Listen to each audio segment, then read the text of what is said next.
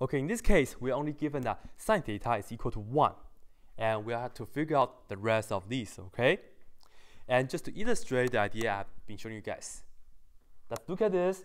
We know sine theta on the x and y plane, the definition for this is y over r.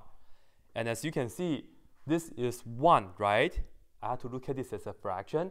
So I can only write this down as 1 on the top over 1 on the bottom. 1 over 1 is the same as 1. And in this case, I can just go ahead and say, let's take y is equal to 1 and r is also equal to 1. In fact, there's only one picture I can come up with in this situation because you will see that right here, y is 1, which is right here, right? And r is 1, that means when you go from the origin to this point, the r is 1. What's x?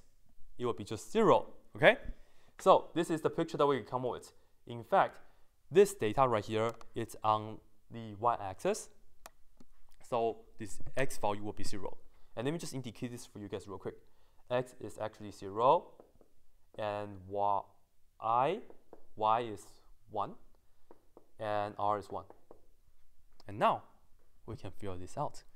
All right, sine theta we know is 1, but I will write this down again. This will be just y over r. Next, cosine. It will be x over r.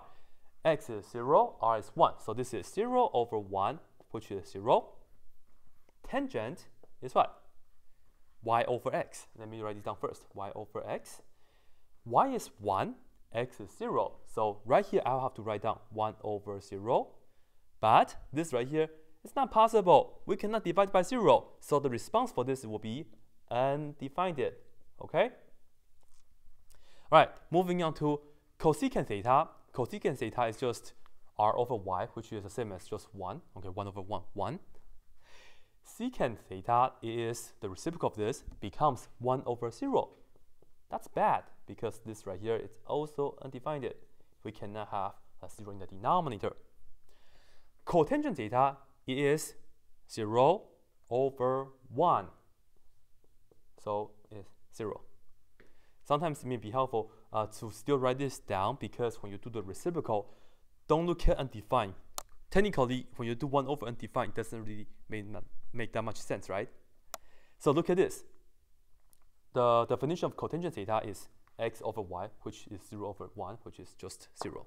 And that's it.